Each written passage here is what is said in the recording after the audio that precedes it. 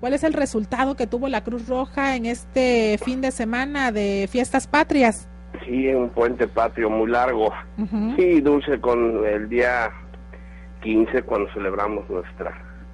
nuestras fiestas este, tradicionales, tuvimos un, un saldo blanco. La, nuestros servicios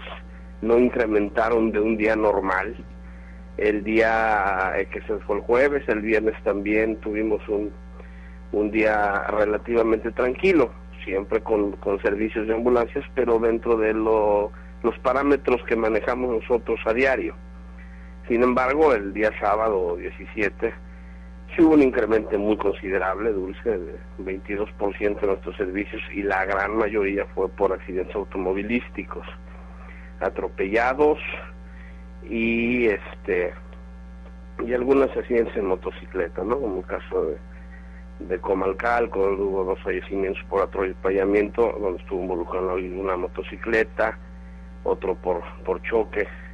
por accidente automovilístico, y sí nos incrementó muchísimo, yo creo que ya dos días la gente celebrando, pues al tercero hubo cosas que lamentar, lamentar, y el, y el día de ayer, domingo, volvió a, a, a sus escalas normales, llamémoslo de alguna manera, nosotros quisiéramos que no tener un día un sola, una sola movimiento de ambulancia, es decir, que no lo requerimos. Pero sin embargo, bueno, te repito, el sábado fue muy, muy accidentado, un día, tan solo en un día, un incremento de 22% en el movimiento de ambulancias es mucho. Una vez que se aprobó la ley para castigar a los bromistas, ¿qué avances hay al respecto, don Mario? Bueno, nosotros estamos ya en permanente contacto con el diputado José Carlos Ocaña. Eh, hemos eh, eh, ya puesto a su disposición en estos días tenemos una reunión con la zona regional de Telmes a petición de la delegación porque Tabasco fue el primer estado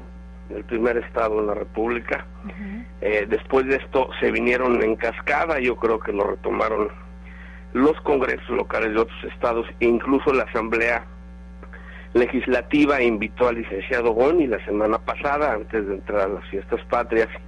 al día 15 en específico, por ahí del jueves, estuvo el Goñi en, en la Asamblea de Representantes a invitación de los asambleístas y les daba los pormenores de, de cuánto se gasta la institución en, en los movimientos de las salidas en falso. Nosotros, como hemos estado insistiendo con la sede nacional también muy, muy puntual, eh, ya tuvimos la primera reunión de todos los delegados estatales con Telmex, donde nos, nos ofertaron un sistema con alta tecnología, donde nosotros vamos a detectar si las llamadas son de menores, si son de móviles, si son de teléfonos físicos, fijos, si son de casetas telefónicas. E incluso ellos proponían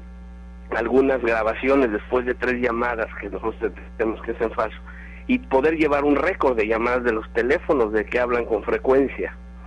Nosotros esto con la intención, nosotros no nos dedicamos a,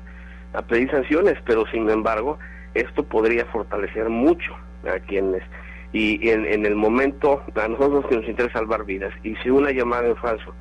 nos evita salvar una, una vida o atender una emergencia,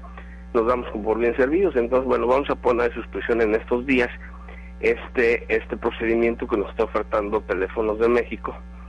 y todo lo que tengamos a la mano para que puedan las, las autoridades competentes llevar las sanciones correspondientes, lo vamos a hacer con mucho gusto. Grupo Presente Multimedios, Evolución, Comunicación, Compromiso.